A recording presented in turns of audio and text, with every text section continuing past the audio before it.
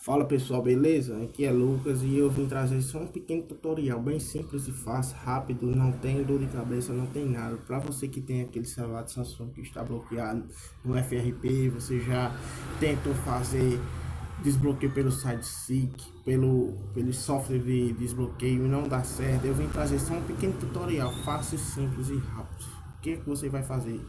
Primeiro você vai colocar seu celular em modo download depois baixar uma pasta de arquivo que eu vou deixar aí na descrição.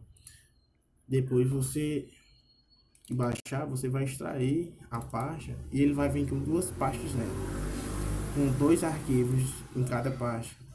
Esse primeiro arquivo de texto vem mostrando os modelos celular que é compatível com esse tipo de processador e na outra pasta a mesma coisa.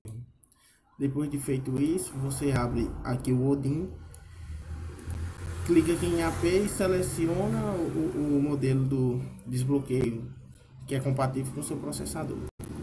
Feito isso, aperte Start, ele vai, joga para o seu celular o desbloqueio e ele vai reiniciar na área de trabalho, já desbloqueado e pronto para usar. É, esse aqui é o método mais simples que existe, não precisa de internet, é cabo OTG, não precisa de porra nenhuma. É só usar isso aí no Odin, desbloquear e já era.